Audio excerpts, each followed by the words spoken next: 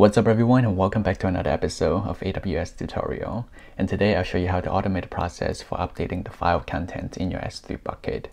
I found it very convenient when I have to update the contents for my website because I host it in an S3 bucket. And all I have to do is make the changes and then push it to GitHub. And then CodeBuild is going to build the project for me and then update the contents in the S3 bucket. And of course you can use it for other use cases as well. So in this video I'm going to use an Angular app for the demo but along the way, I'll talk about the equivalent commands that you would use for a React.js app as well. So without further ado, let's get to it. Alright, so step one is to create a repository to host our project on GitHub. So I'm going to click New, and then give it a name.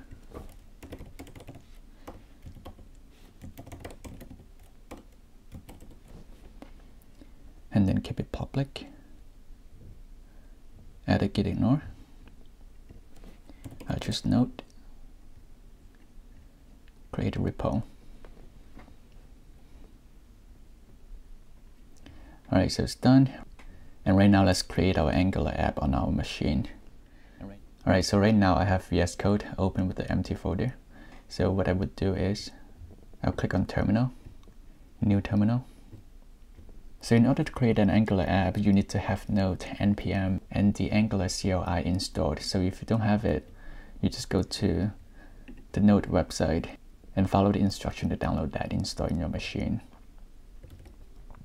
So after you get Node and NPM installed, you need to do this command to install the Angular CLI. Um, and then for React.js, you need to do this to install the npx that's what you're going to use to create a React.js app. So right now, let me create a new project for the Angular app. So just do ng new, I'll just call it the same name as my GitHub name. Hit enter. We hit yes. I'll do SCSS. Alright, it's done. So I'm going to cd into the project. Then what I can do is I just do ng-serve to see if the project's working.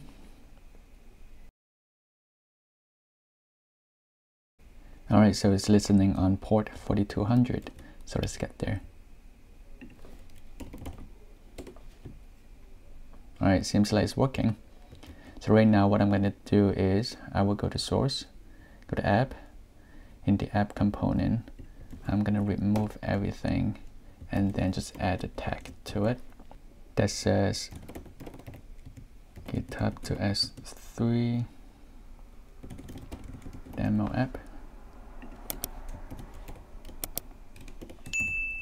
And then we have a version number to be version 1.0 and then go back, it should be updated with our new content. And right now, let's go back to VS Code. And then we're going to add the buildspec.yaml file for the code builder use for the, to build the project. So I'll go to the root directory, add a new file, and we have to call it buildspec.yaml. We need to specify the version I believe this is the latest version and then we have to identify the phases install runtime version we're going to use node version 12 and then the command we're going to use is we're first going to print out what it's doing now.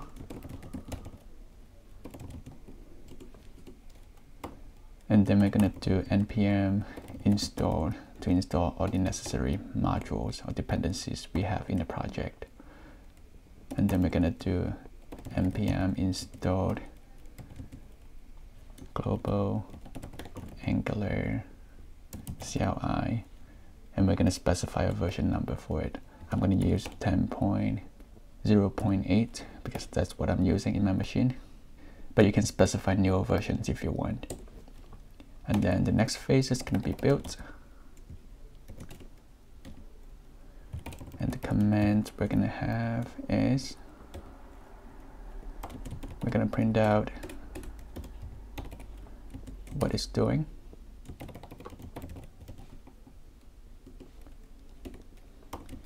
And then we're gonna do ng build prod. For React.js apps, I believe the command is npm run build. And then the next phase is gonna be post build, what we're gonna do after we build project. And we have the commands as, again, we're gonna print out what we're doing here.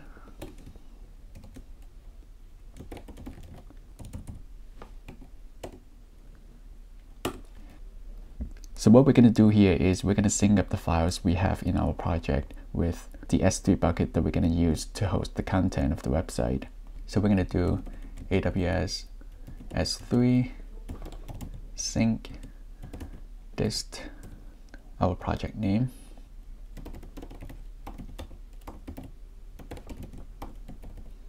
everything and then we specify the S3 bucket that we're going to create later on in the next step. I think we're just going to call it Gymeister Demo App 2021 and then delete. So this is the directory that Angular is going to create and put all your build files in there. I'm going to show you.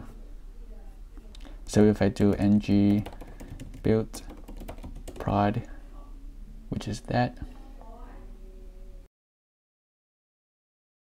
And this new directory is created with all these contents that we need to host the project.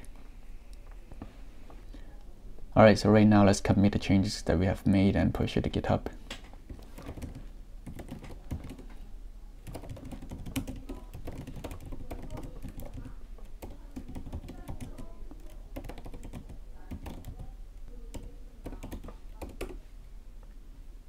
Now we need to go back to GitHub, copy this URL, and then do git remote add origin, and then paste the URL, and then do git push, and we get an error here. And the reason is that my branch name is my branch name is master and in our github repo we have the main here. So what I need to do is just copy this enter. And now in our github there should be a new branch called master.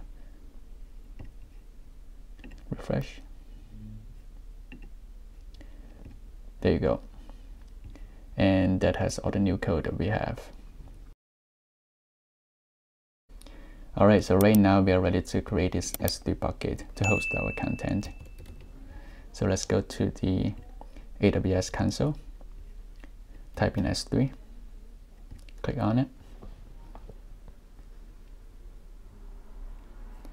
create bucket, type in the name that we have specified, uncheck this because we're going to use that to host our website that's open to the public. Enable versioning, enable encryption, create. And right now let's configure that for website hosting. Click on property, scroll all the way down. Under the static website hosting, hit edit, enable, and then we're going to put index index.html and do the same here. Save changes. And then under permissions, scroll all the way down to the bucket policy, hit edit.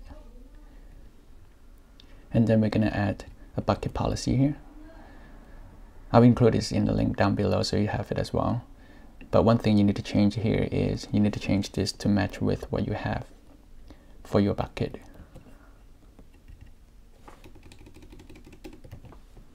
One thing I want to mention here is you may be tempted to change the date here, but please don't because this is how AWS keeps track of the versions. So save changes. Unknown error. Oh, this is not right. Let's try again. Alright, so now it's done. And now we're ready to create a code build to connect everything. So I'm just going to type in code build. Open that into a new tab. Create a new project. I'll just call it GitHub S3 Angular demo. And then scroll down under source. We're going to select GitHub. And if this is the first time that you're doing it, you have to connect to GitHub. And then confirm. And if your AWS account has never connected to GitHub before, you may have to enter your passwords and stuff to authenticate. So follow those steps and connect to it. And then I'll select repo from my account and select the GitHub repo that we just created. I believe we call it GitHub. There you go, right here. And then source version. I'll just enter master because that's our branch and then we can leave other configs as default. And next, the webhook, we're going to check it here. And then event type, we're going to choose push because we want it to build every time we push a change to it. And then operating system, we're going to choose Ubuntu. Runtime, standard, image. Um, I just choose standard 5.0 image version. Yeah leave it as default and Linux. I'll just let it create a new service role for us. And I believe everything else can be left as default. And then lastly the logs. I'll just enable CloudWatch and give it a group name as code build and then stream name is github s3 angular demo and then create build project and then one last thing we need to do is give code build the permission to access our s3 bucket so that it can delete and upload the new contents to it and we're going to do that using an IAM role which can be found under build details scroll down and service role. So right click on it, open that into a new tab. Under the base policy, we're going to add the policy JSON.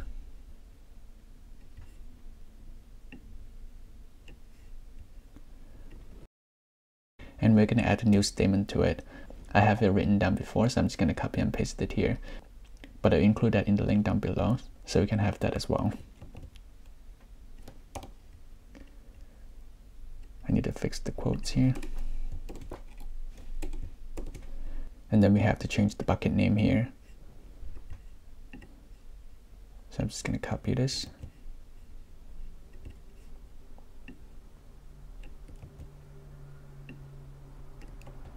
That is it. And then we hit save. save changes. And right now let's go back to the S3 bucket. Now it's empty, but if I post the changes to GitHub, the new content is going to appear here. So if I go back to VS Code, let's change it to 1.1.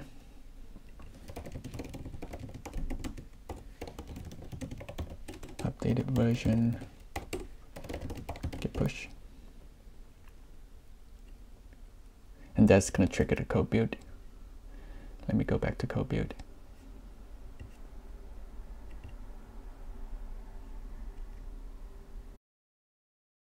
And now it's in progress.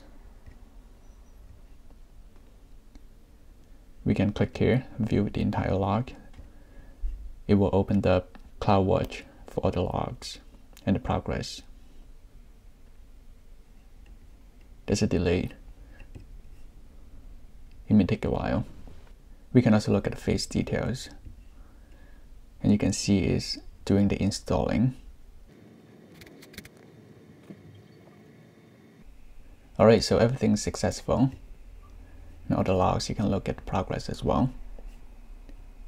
And right now, if I go back to the S3 bucket, hit refresh. Hmm, nothing's here. Let's see what's wrong. Let's go back to VS Code, the buildspec. Ah, I have a typo here. Commands, and that should do it. So if I push this,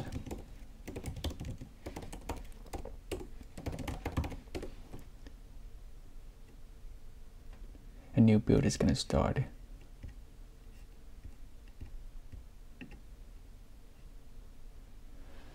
It's in progress. Look at the phase details.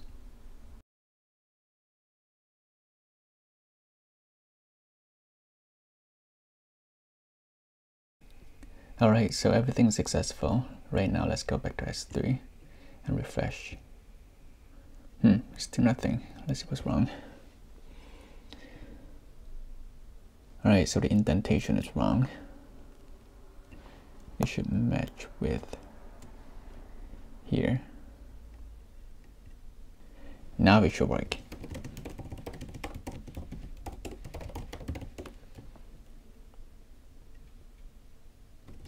Now let's go back. Code build. Go back here. Now there should be a third one.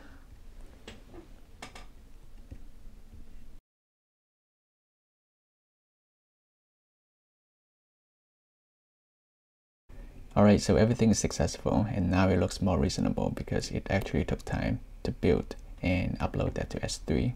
So right now, if we go back to the S3 bucket, refresh, hey, there you go. We should see all the files in here. And if we go to properties, scroll all the way down, click on this URL, we should be able to see our website.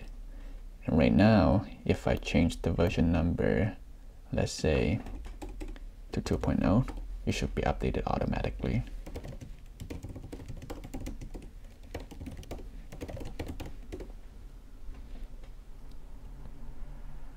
Now let's go back to code build.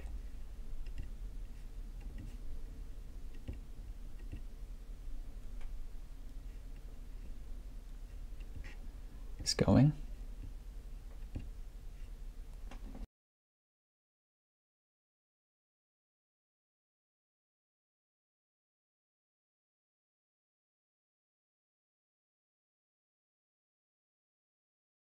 Alright, so everything is successful. So right now, if I go back to the website and hit refresh, this is going to change to 2.2.